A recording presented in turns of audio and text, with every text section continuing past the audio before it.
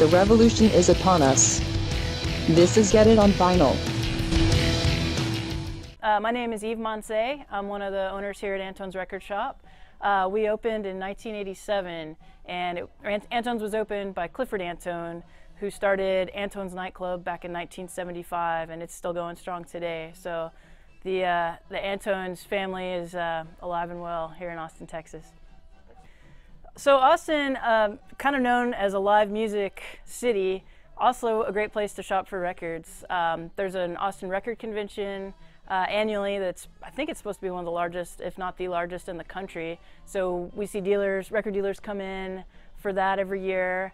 Um, and then just all the shops in town. I mean, it seems like maybe five or so years ago, uh, we started noticing people coming in on the weekends from cities outside of Austin just to come to all the shops because there's there's multiple shops in town, and we get a wide variety of, of people shopping for records. Um, I started working here back in 2001, and it was mostly older collectors buying records, and people who were younger were buying CDs. And now that's kind of flip flopped. We still, of course, have our our collectors, serious collectors, but we have a lot more.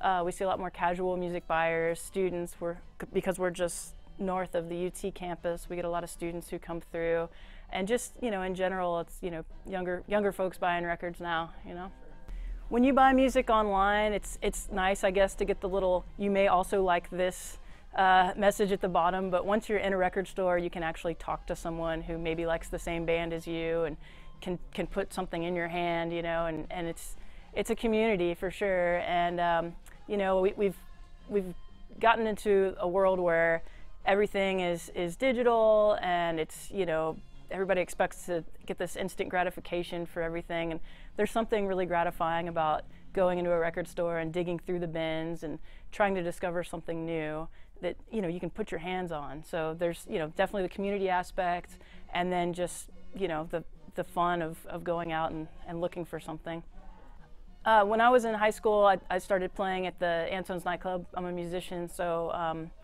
I, I would come here to look for records, and it, you know, it's a special place to me. This was the kind of the store that I, I grew up shopping in, and um, would ask people here for suggestions. So a lot of the first influential records that, that I purchased came came from the store, and I used to just hang out here. And one day I, I heard people talk the the employees at the time talking about, oh, we might need to get another another person in here. I was like, oh, I'll do it, I'll do it.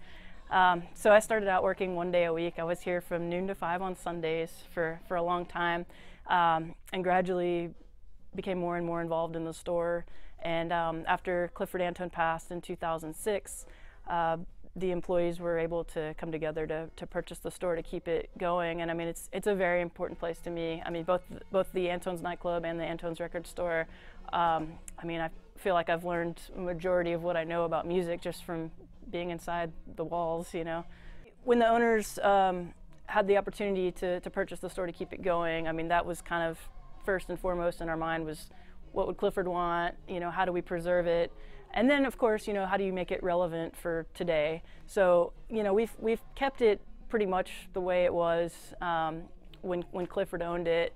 Um, and he was, you know, he would make sure that we had certain things in stock all the time. You know, if we were out of Bobby Bland, two steps from the blues, he was unhappy.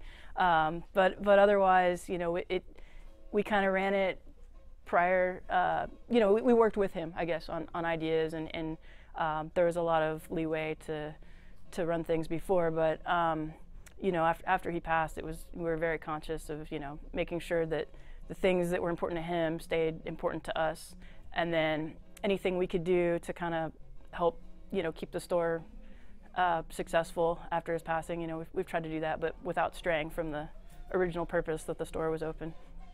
So when I first started working here, it was all about CDs. I mean, people were buying CDs. We'd sell records, but it was the focus and the way people consume music was was CD. And when downloads started becoming prevalent, we were, oh my gosh, what are we going to do? What are we going to do? And that was when vinyl sales started going up, and it was really cool to watch as CD sales go da- went down, vinyl sales were on the rise, and I mean that's that's why the the store's still here. You know, we're we're really fortunate that that vinyl has become such an important way that people choose to listen to music because we all know there's plenty of other options out there right now. So we we've kind of always been known as a store that has blues, local artists, things that are a little bit more niche oriented.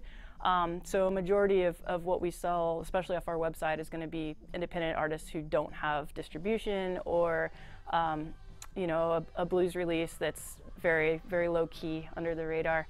Um, and we do definitely sell a lot of major label artists and new releases um, when they come out, but that tends to be more of the in-store purchase. You know, people who come in, oh, I need a copy of Fleetwood Mac Rumours or, you know, whatever um, the new Jack White maybe. You know, things that are that have wider distribution. That tends to be stuff that people come in the store and purchase. Um, but folks who don't live here, maybe that don't have access to a record store in their town, when they're buying stuff from us off our website, it tends to be things that are harder to find elsewhere. So the very first record store day, I thought, oh, this is a cool idea. Maybe some people will come, and it was our busiest day of the year. And since that first record store day, every record store day has been our busiest day of the year. Um, it's pretty much like doing a week's worth of business in a single day. It's it's great, you know, um, and you get people who come in. Some of them, you know, are are very they're looking for a very specific item that that came out for record store day. They're here, they're in line early in the morning, and then as the day progresses, it's more people just getting out to go to their record store and see what's available, maybe what um, exclusives are still left, and then also just they just want to support the store. Um, so it's it's just been great for us. We we you know look forward to it every year. Um, you know, people greet each other with Happy Record Store Day, which is cool. Um, and then also in Austin, what, what's kind of special, and I think maybe some other places have started doing it as well, but we have um, this indie record crawl. So if you bring a receipt from one store who's participating to another store, you get a discount. And it just kind of brings the entire Austin record store community together, um, encouraging people to, to hit multiple stores that day. Not don't just go to the one you're used to going to. Maybe try a place you haven't been to before, or that you've kind of forgotten about that you haven't been to in a while, that kind of thing. So I love the the community aspect of it. I feel like you know the the vinyl sales have continued to increase, and you know who knows when that's going to either taper off or, or, drop, but it's it's been going strong. Um, we're starting to see new pressing plants open up, which is a really good sign because for a while that kind of prevented um, stores from getting certain items because there was a, such a backlog at the handful of pressing plants that were still open. So the fact that there's new technology for new pressing plants, I think, is, is a really good sign. Um, and there's actually one that just opened in Austin, and I think a second one that's about to open. So even locally, you know, that, that means that more local bands are probably going to be uh, putting out vinyl. So, you know, it's, it's going to be interesting to see. I feel like there's an investment um, in, in vinyl for the long run, you know. Sure.